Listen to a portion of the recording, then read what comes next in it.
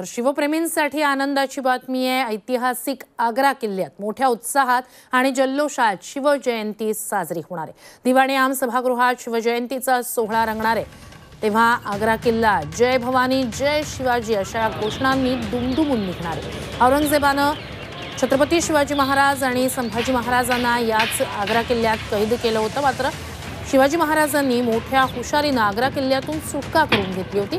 हाच सुटकेचा थरार आज नाट्यरूपात दाखवला जाणार आहे. संध्याकाळी होणाऱ्या या कार्यक्रमासाठी मुख्यमंत्री एकनाथ शिंदे आणि उत्तर प्रदेशचे मुख्यमंत्री योगी आदित्यनाथ उपस्थित राहणार आहेत. याचाच आढावा घेतलाय आमचे प्रतिनिधी विशाल करोळे यांनी. महाराष्ट्रात गेली काही दिवस चर्चा सुरू आहे ती आग्र्याच्या किल्ल्यात शिवजयंतीची. आणि त्याच आग्र्याच्या किल्ल्यात दिवाने आम समोर मी या क्षणी उभा आहे आणि मागे जो दिसतोय तो दिवाने आम आहे. याच ठिकाणी आग्र्यात शिवजयंती साजरी करण्याचा विचार करण्यात आला होता आणि तो विचार आता पूर्णत्वास येतोय.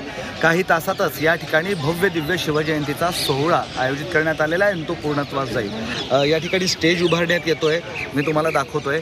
या स्टेजच्या तिथे योगी आदित्यनाथ जे उत्तर प्रदेशचे मुख्यमंत्री आणि महाराष्ट्राचे मुख्यमंत्री एकनाथजी शिंदे येणार आहे.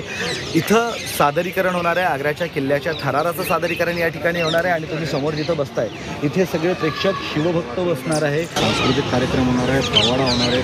महाराष्ट्र गीताचं गायन आम्ही आग्र्याच्या भूमीमध्ये करणार आहोत. याचबरोबरीने आग्र्याचं आणि महाराष्ट्राचं काय नातं आहे त्यावेळेची घडलेली घटना ही एका सँड शोद्वारे आम्ही डिस्प्ले करणार आहोत दाखवणार आहोत.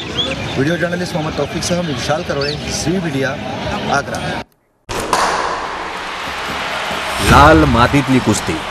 म्हणजे